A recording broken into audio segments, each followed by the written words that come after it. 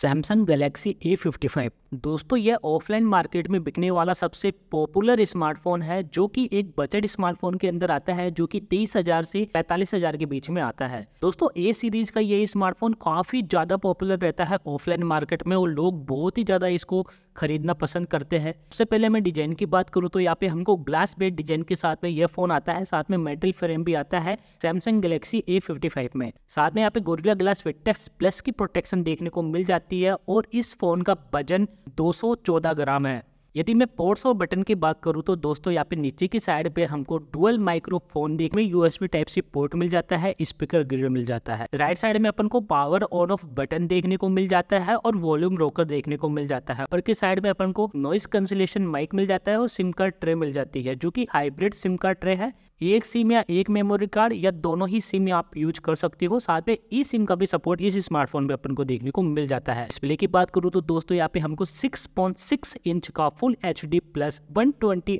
super AMOLED display देखने को मिलता है, जिसकी पीक ब्राइटनेस एक हज़ार नेट्स की है और यहाँ पे एच का सर्टिफिकेशन दिया गया है। नेटफ्लिक्स वगैरह आप आराम से एच में कॉन्टेंट का मज़ा उठा सकते हो और गोरिल्ला ग्लास विटस प्लस की प्रोटेक्शन भी यहाँ पे देखने को मिल जाती है। प्रोसेसर की बात करूँ तो यहाँ पे एक्जीनोक्स का वन प्रोसेसर देखने को मिल जाता है, जो की फोर एन पर बेस है और ये एक्जीनोक्स सैमसंग का खुद का प्रोसेसर है, जिसका अंत तो स्कोर आता है सात लाख चौबीस हज़ार। गेमिंग की बात करूँ तो दोस्तों यहाँ पे जेंसिंग इम्पैक्ट मीडियम सेटिंग पे 40 एफपीएस और बीजेएमआई 40 एफपीएस में आराम से आप कंटेंट का मज़ा उठा सकते हो। लेकिन यहाँ पे हो सकता है ये अभी नया चिपसेट है तो उतना इतना अच्छा परफॉर्मेंस नहीं देता, लेकिन ये ए सीरीज़ का स्मार्टफ़ोन है ए तो ये ऑलराउंडर है। मतलब सभी चीज़ के हिसाब से इसको फ़ोन को बनाया गया है। यदि मैं रैम और रोम की बात करूँ तो यहाँ पे एल पी रैम आती है और स्टोरेज यू एफ़ पे दो वेरियंट ये स्मार्टफ़ोन में आता है, आठ जीबी रैम दो सौ छप्पन जीबी इंटरनल स्टोरेज के साथ में यह फ़ोन आने वाला है।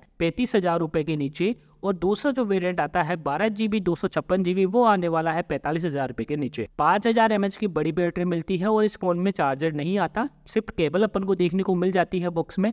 टाइप सी टू टाइप से वो पच्चीस वाट के चार्जर को ये सब सपोर्ट करता है। मल्टीमीडिया की बात करूँ तो दोस्तों, यहाँ पे नेटफ्लिक्स और यूट्यूब पर HDR का कंटेंट का मज़ा ले सकते हो। साथ में यहाँ पे डोल भी एटमोट स्पीकर आता है। ऑपरेटिंग सिस्टम की बात करूँ तो वन यू आई पर आता है, जो बेस है एंड्रॉइड फोर्टीन पर।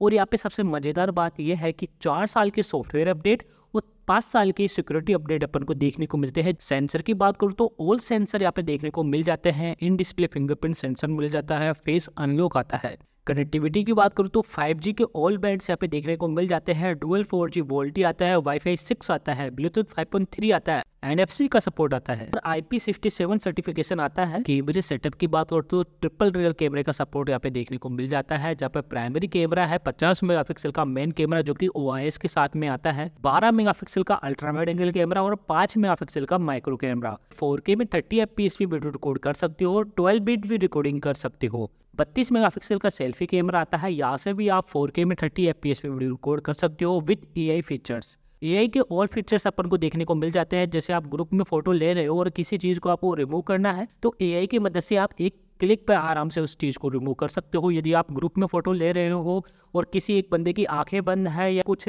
फेस शेडो वगैरह आ रहा है तो ए के बहुत सारे फीचर्स मिल जाते हैं जिसके आप उसको एडिट करके आराम से आप उस फ़ोटो को एडिट कर सकते हो। तो दोस्तों, कैसा लगा ये स्मार्टफ़ोन मुझे नीचे कमेंट करके ज़रूर बताना। उम्मीद करता हूँ दोस्तों, आपको ये वीडियो पसंद आई होगी। वीडियो पसंद आए तो वीडियो को लाइक करें शेयर करें और चैनल को सब्सक्राइब करना ना भूलें, क्योंकि मैं ऐसे ही इंटरेस्टिंग वीडियो आपके लिए लाता रहता हूँ। मिलता हूँ किसी नई वीडियो के साथ। जब तक के लिए जय हिंद।